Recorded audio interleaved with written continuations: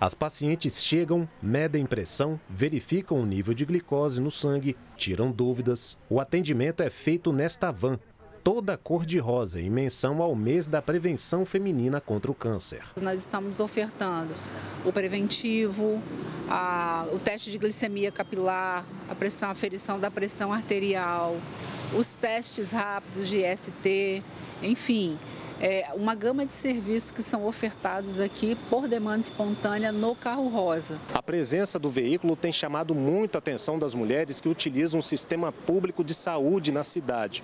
Um dos reflexos disso, de acordo com a prefeitura, é que nos últimos 15 dias, mais de 1.200 exames preventivos contra o câncer foram realizados na cidade.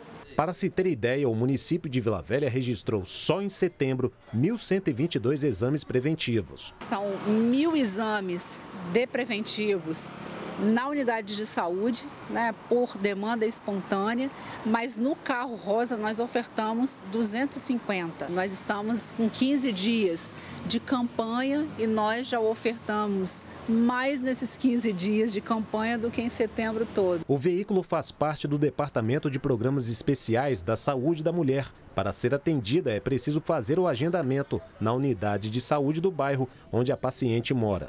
Durante esta semana, a van estará nos bairros Barra do Jucu, Coqueiral de Itaparica e Argolas.